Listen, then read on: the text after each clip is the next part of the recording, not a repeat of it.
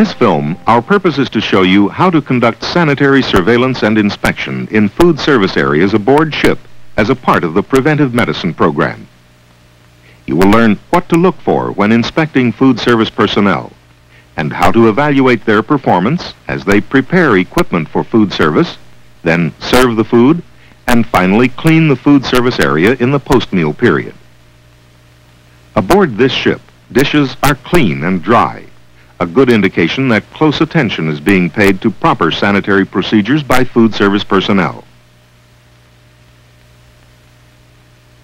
It is your responsibility to conduct sanitary surveillance and inspections in food service and storage areas to identify factors that could lead to illness and to recommend corrective action. Aboard ship, your efforts have added significance since you could become a victim of shortcomings in your disease prevention efforts. Sanitary surveillance and inspection are continuing requirements that extend throughout the day, perhaps even while you pass through the serving line. You need to verify that responsible individuals inspect food service personnel daily. You should also monitor for communicable disease conditions that may have occurred since their initial physical examination. Uniforms will be clean and neat. Personnel will have no symptoms of respiratory disease and will be free of acne. Skin about the face and hands will be free of lesions or open cuts, and nails will be clean and trimmed short. Hair will be neatly trimmed and covered by a cap or other hair restraint while working in food service areas. Beards must be covered by an appropriate mask while food handling is performed. Because prevention of foodborne disease depends so strongly on intercepting possible sources of infection before they can affect food service, you need to be sure that personnel with acne or open lesions of the face or neck or of the hands are prohibited from performing food service duty. In this case, inspection confirms that food service attendants are satisfactory, but there are other items of concern. How successfully have they absorbed and then put into practice the information and procedures learned during food service orientation training? Formal training in food sanitation is a requirement established by the Secretary of the Navy for all mess management specialists and you need to verify that these personnel have received the prescribed training. Additionally, food service attendants and the mess deck master-at-arms require orientation training in cleaning and dishwashing procedures, personal hygiene, and food service techniques. But it is the frequent observation of actual practices in the course of the working day that tells you whether or not sanitation principles are being followed. For example, you are required to verify that prescribed hand washing facilities exist in or adjacent to food service facilities.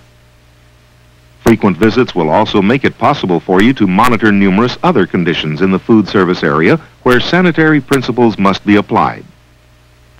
The multiple use of dispenser tubes is prohibited on milk dispensers and also on containers used for fruit juice or other beverages.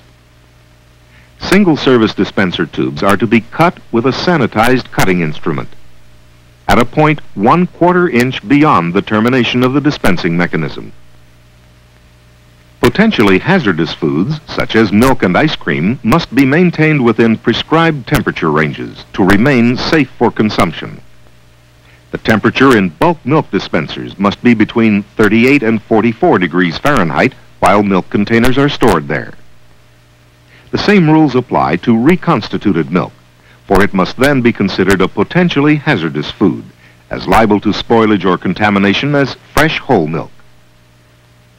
To ensure compliance with sanitary procedures, ice cream prepared from a mix should be blended in a sanitary manner. This procedure must be conducted only by personnel who have received proper training.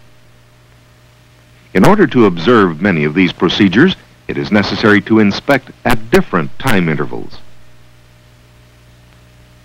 Ice must meet the same sanitary standards as other food in terms of cleanliness and freedom from contamination.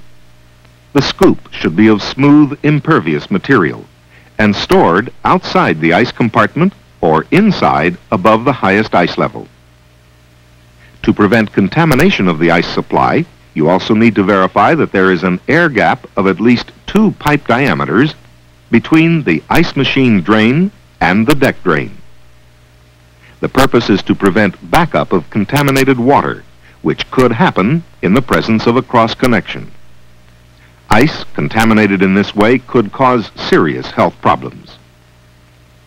Other potential hazards exist around microwave ovens due to possible emission of non-ionizing radiation. Operating instructions must be posted.